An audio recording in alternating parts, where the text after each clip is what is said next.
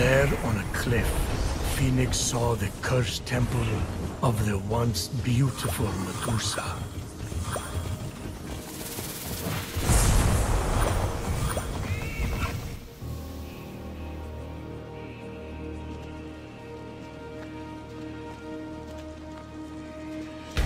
From a slight hissing to a sudden screech, the horrifying Gorgon Medusa slithered, ready to strike.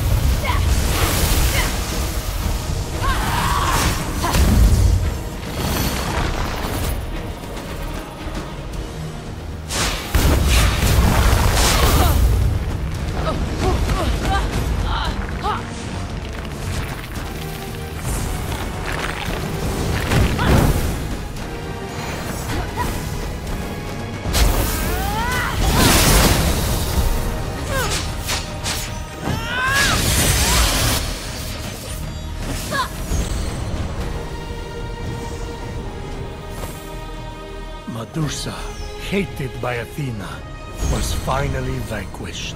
And her story of stone and snake came to an end. You mess with Athena, you get beheaded or turned into a spider or wrecked in a storm. Ah, my daughter is Sophia. It's adorable.